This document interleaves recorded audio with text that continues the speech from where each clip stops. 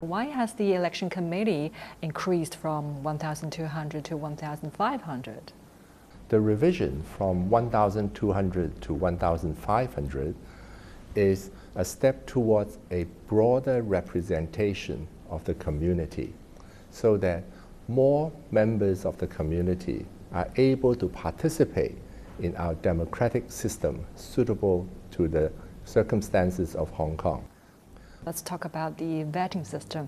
And uh, critics say that it will make uh, it more difficult for the opposition parties to uh, run for office. What's your take? Well, first of all, knowing that Hong Kong is a very diverse community, and diverse community obviously will have very diverse views, which is the strength of Hong Kong and the nature of Hong Kong.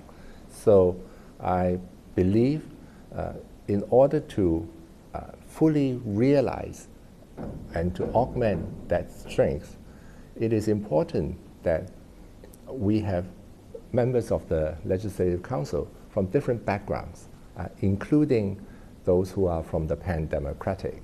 So therefore, I have every belief that members of the pan-democratic camp will be able to win elections and they will be part of the Legislative Council process in order to build together as a united, uh, as a united community to the betterment of Hong Kong. All 117 district council seats have been scrapped. Why?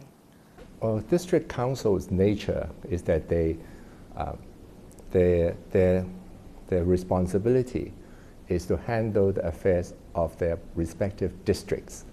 So Hong Kong is divided into 18 different districts, and the districts are further divided into smaller districts.